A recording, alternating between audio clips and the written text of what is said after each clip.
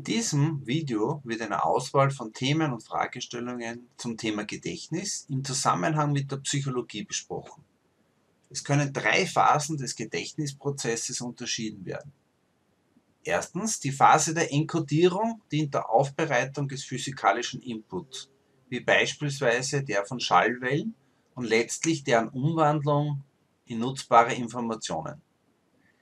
Zweitens die Phase der Speicherung dient der längerfristigen Abrufbarkeit der Information. Und drittens die Phase des Abrufes ermöglicht den Zugriff auf die gespeicherten Informationen. Das Gedächtnis kann in allen oder einzelnen der hier beschriebenen Phasen versagen bzw. gestört werden. Beispielsweise kann dies der Fall sein bei Zeugen, die vor Gericht aussagen und deren Erinnerungen fehlerhaft sind. Im Zusammenhang mit der Dauer der Speicherung von Gedächtnisinhalten kann auf das sogenannte Drei-Speicher-Modell verwiesen werden. Als erstes das sensorische Gedächtnis. Eine der Hauptaufgaben des sensorischen Gedächtnisses ist die Aufnahme von Informationen über die Sinnesorgane. Die Speicherungsdauer ist flüchtig, weniger als eine Sekunde. Das Gehirn lenkt die Aufmerksamkeit auf Inhalte des sensorischen Gedächtnisses und legt damit fest, welche Informationen in das Kurzzeitgedächtnis gelangen. Dort erst werden diese dann dem Menschen bewusst. Zweitens das Kurzzeitgedächtnis. Diese Informationen sind bewusst und damit auch leicht zugänglich. Die Speicherungsdauer beträgt einige Sekunden. Um eine längerfristige Speicherung zu ermöglichen, ist eine Überleitung der Informationen in das Langzeitgedächtnis notwendig.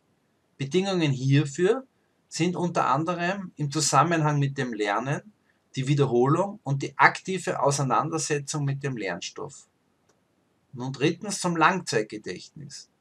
Die Speicherungsdauer des Langzeitgedächtnisses erstreckt sich unter gewissen Umständen von kurzer Dauer bis hin zu vielen Jahren.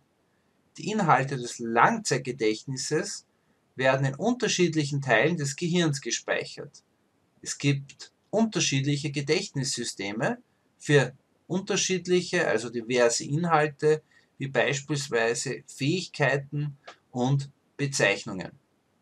Es können im Hinblick auf die Form der Erinnerung zwei Formen des Gedächtnisses unterschieden werden.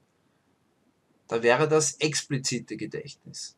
Man bezeichnet mit dem expliziten Gedächtnis bewusste Erinnerungen an etwas Bestimmtes, wie beispielsweise ein gewisser Ort und Zeitpunkt.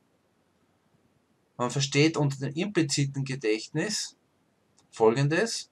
Man bezeichnet damit unbewusste Erinnerungen, wie beispielsweise die Fertigkeit des Ballwerfens.